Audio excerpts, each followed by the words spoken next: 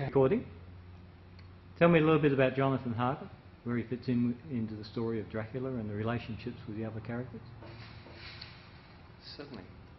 Uh, I think, well, to start with, Jonathan, like, unlike, I guess, like the, the strong characters of, of, Dracula and Van Helsing, uh, he's, he's a bit adrift in life and as, everything kind of happens to him and, and he deciphers it. He's not really playing games or, or really pulling any strings to, to make this the story or, or the situation any other anything other than it, it is. He's pretty much just a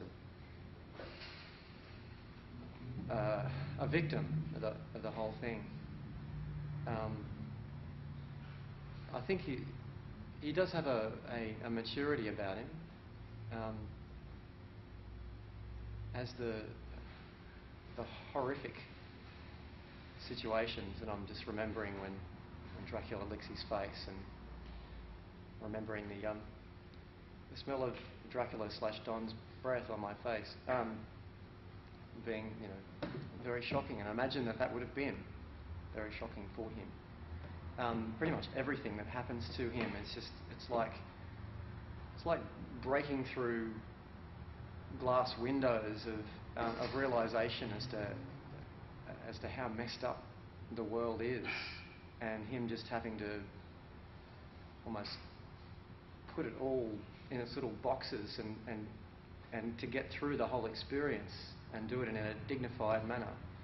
Um, I mean, if I was to experience my, those things myself, I probably would not be so dignified and, and would have been a lot more enraged and, um, and revengeful than, than Jonathan. But he seemed to, he, he just seems to kind of wear it and then go along with the whole thing. He hates Van Helsing.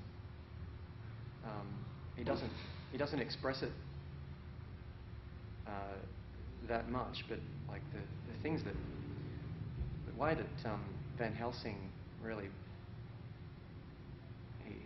he, changes the course of, um, of things so dramatically when he steps into the picture.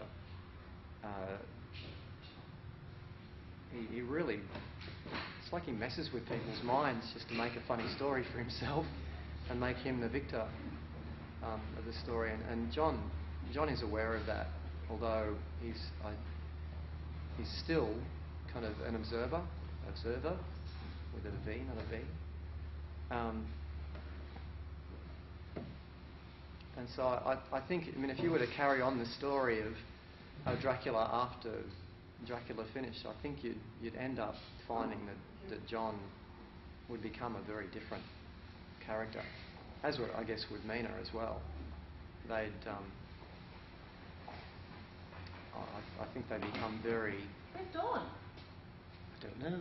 Where's Dawn? I don't see. I don't not over here. they kind of ruined. Thank you. Here at Dracula, we like to Support local Kentucky business. um, welcome to my interview. oh, Could you take a head, too, please? Yeah.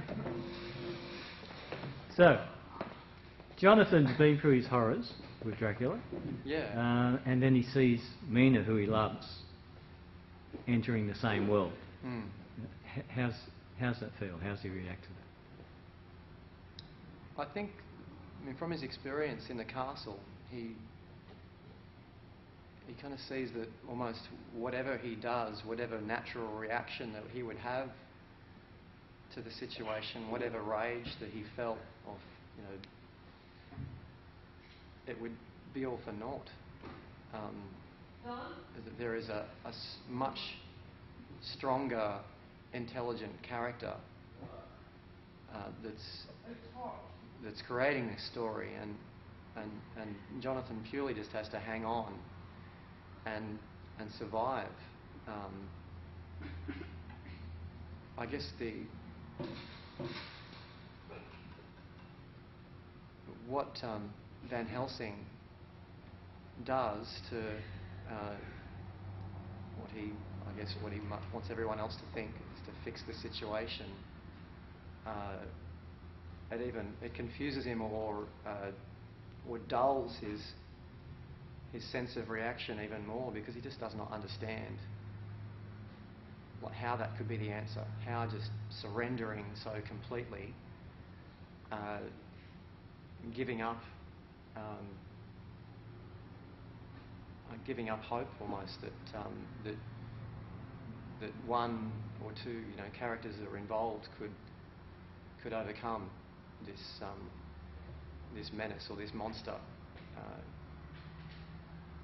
it's like a it's like he enters a he enters this a story like a like a nursery rhyme in a way, and the more ridiculous it becomes, it's like he's just got to surrender to it.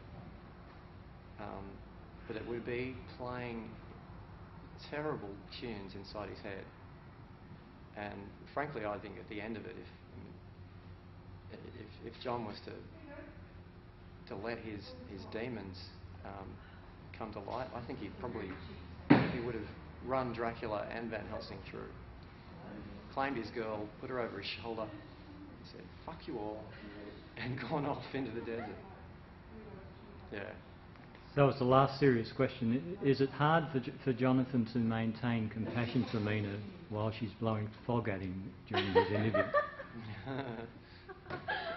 I think it's. I mean, this is the fog of love. This is the. Um, it's, it's, the, it's the substance of, of pure joy that's being shot in my general direction. It's. Uh, it's like a warming caress, and I think that's.